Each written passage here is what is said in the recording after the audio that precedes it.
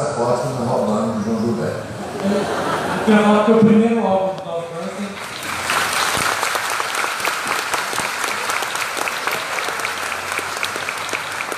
O primeiro álbum do Nova França é um perfil mais de música elétrica, mais próximo da linguagem do rock. O João Gilberto foi uma influência definitiva para essa mudança de sonoridade. Eu não conhecia o João Gilberto ainda. A gente tem chegado, chegou, chegamos em São Paulo em 69, fomos contratados por João Araújo, pai de Cazuza, da gravadora RGE, fizemos nosso primeiro disco, a Fernando Neca. Era um disco bem influenciado pelo grupo de rock dos anos 60, né? Já vinha influência dos Beatles, Rolling Stones, isso tudo. Depois entrou Jimi Hendrix, Jimmy Joplin e tal. Então esse disco tinha essa pegada meia roqueira.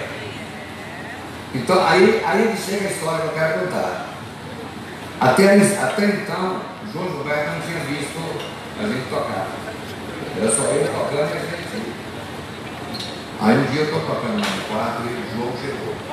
E eu não vi que ele tinha chegado. E daqui a pouco se virou pro, pro Galvão e falou assim, chama aqueles vaqueiros lá para tocar aqui.